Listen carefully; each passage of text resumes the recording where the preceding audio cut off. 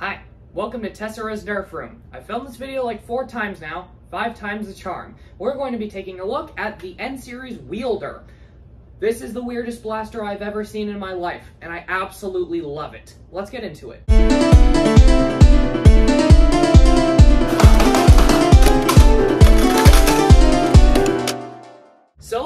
Is a 2024 release out of Hasbro in the new N-Series line, and it is one of the weirdest blasters ever created. One of only two completely original things besides the Infinite. And this blaster is insane. It is a four-dart revolver bolt-action pistol with a stock attachment point. Yeah, let's start with the design and figure out what's going on. I'm briefly going to take the stock off and I will address the stock independently in just a moment. The design of the wielder looks so, so cool. I don't know what it is. I don't know what it is about this blaster's design, but it is just magnificent to look at. Look at this. Look at this. The way this is set up with all these lines, that's the mark of an artist. Like, it looks beautiful. The big sleek orange up at the top with like the little orange accents here and there. Just this dark blue, like it's almost reminiscent of Elite, but it's just like, oh my gosh, it's beautiful. It really is. And they did the circuit board patterning and the plastic molding extremely well. They alternate the different types of plastic and it really gives this blaster a gorgeous look to it. The bolt just adds extra detail, the big white cylinder in the front, it all just comes together. And I love the fact that the stock attachment point is orange. That's just an extra little detail. Not to mention, the shape of this blaster just looks so cool. It looks like an old-fashioned laser tag gun from like the 80s, back when laser tag used to have like super cool looking guns rather than just always emulating an AR-15 in some way. This is like what they looked like. It's so fun and nostalgic because I remember I used to go to laser tag arenas and they have like super fun looking blasters and I'd always love to see what the blaster looked like when we got there.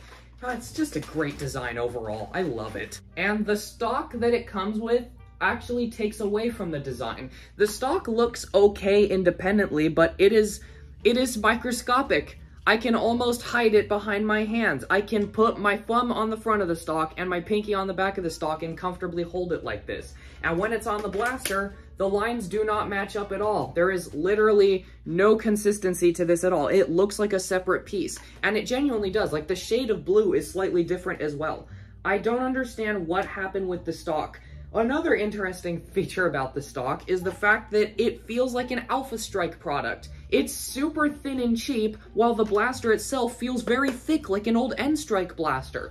So the inconsistency in plastic goes from front to back, and it's just so weird. Just, just don't use the stock. Though this does give me the opportunity to address the new style of stock attachment, which is these two little notches on the top rather than on the bottom. And the way you detach it is with this big button on the top rather than the two little spring-loaded pegs on the bottom. And it actually does supply a more secure fit than the original N-Strike stock attachment point design. I think they did this because, in theory, a stock has weight on the bottom of it. And since the only locking point is at the bottom, it causes the stock to bend back. And you do end up pushing more weight against the bottom, and stocks do traditionally bend back a little bit.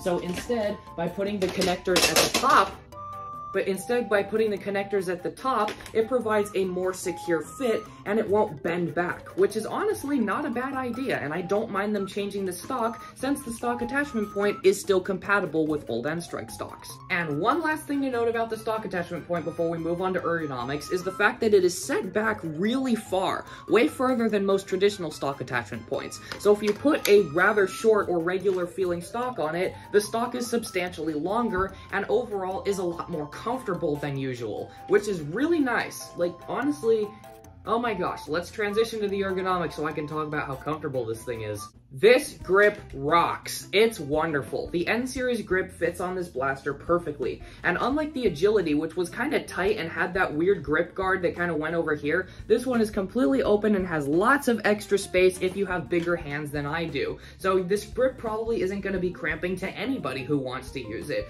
Very smooth and fluted, nice finger troil, just like all the other N-Series blasters. Now this blaster doesn't really have a foregrip, but if you do put a stock on it and you want to use a foregrip, you can very just put your hand right about here, and it's a very nice handhold. As for the bolt, it's a very nicely designed bolt, which can easily be unscrewed. And one detail I honestly like a lot about this blaster is that it only comes with one bolt. So you can put it in the left side or the right side, completely ambidextrous. And once the bolt goes in, I never had any problems with it unscrewing, unlike the pinpoint, which I will review the pinpoint in a couple days. So how does this blaster work? Well, it is a four-shot revolver. So you take a dart, you load it into the front, then you take the bolt handle and pull it back. It has a spring return, so that's nice, and then you can aim it and pull the trigger once to fire. It does not have slam fire, which I'm not even surprised by because it's a bolt action thing. Another way you can fire it, and how I usually fire it if I don't have a stock on it, is by turning it sideways and holding the bolt from the top, like this.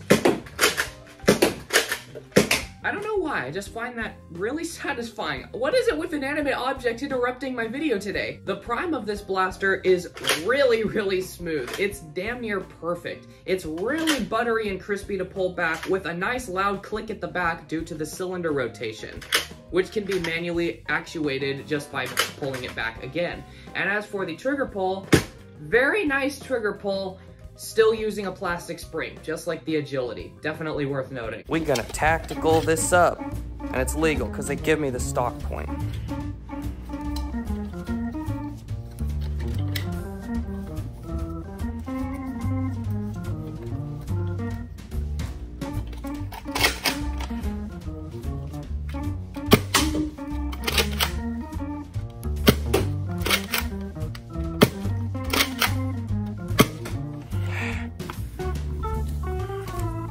Did so good with the first shot.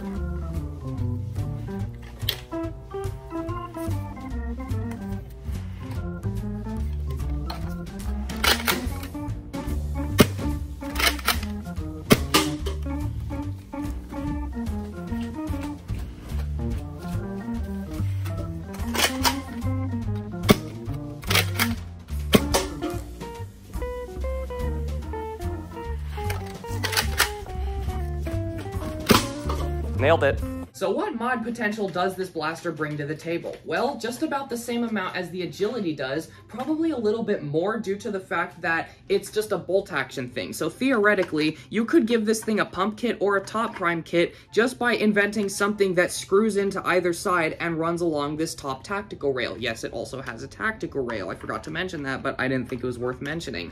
So modding potential for this blaster is really nice. Plus the fact that it is big and it is comfortable. It is a really really nicely made blaster, so this is probably something you'd want to mod.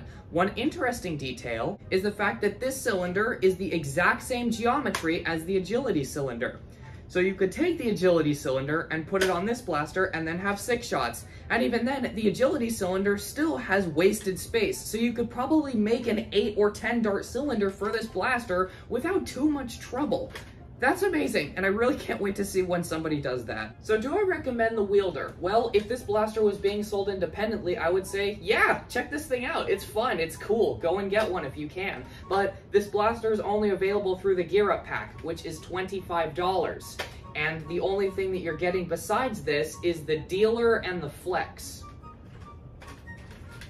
yeah, you, you kind of got to pick your poison there. It's it's not that big of a value for your money. I mean, yeah, you're getting three relatively cool blasters, but it is still $25. You're spending it on three small blasters when you could buy one bigger one that is probably better in just about every single way than all three of them combined. But honestly, if you want this blaster, I don't think it's that big of a sacrifice to spend 25 on the Gear Up pack. If you want to get this blaster, I'll link it in the description below. Thank you for watching. Bye!